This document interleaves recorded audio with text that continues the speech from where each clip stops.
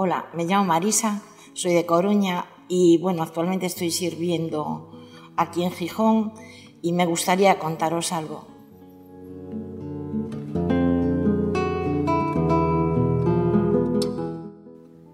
Bueno, pues mm, yo era una persona que realmente estaba perdida.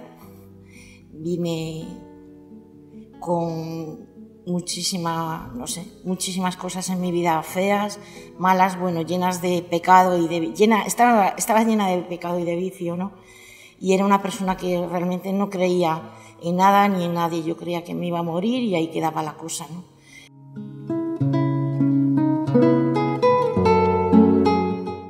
Tampoco nunca había escuchado el Evangelio y era bastante escéptica, ¿no?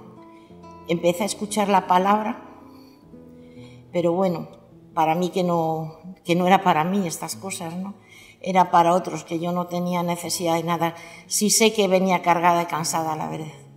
Pero a partir de estar escuchando la palabra, y de escuchar y de escuchar, pues vino a mi vida, trajo a mi vida esa palabra que escuchaba fe.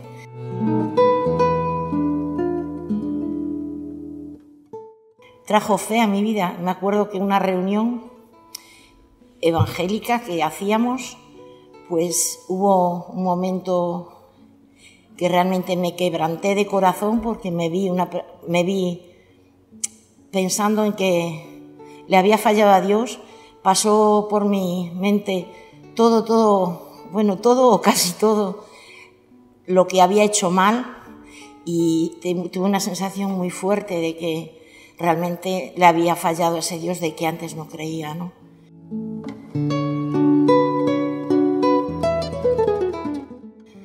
Partir de ahí, mi vida cambió.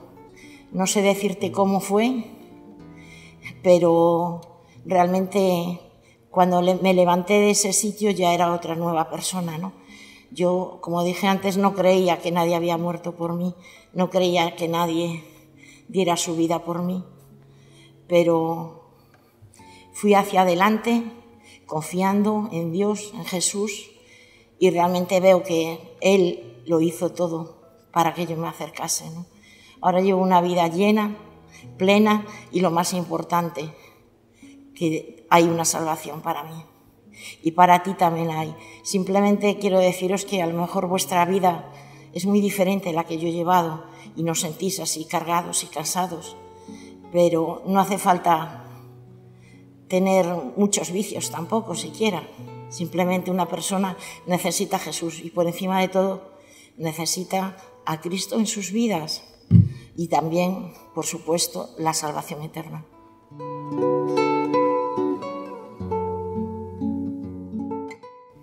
Yo quiero para vosotros eso. Mi deseo es que más gente conozca a Jesús porque es lo más maravilloso que puede ocurrir en tu vida, de verdad. Hay un versículo en la Biblia que dice, venid a mí todos los que estáis trabajados y cansados, y yo os haré descansar. Y es una realidad. Gracias. Que Dios os bendiga.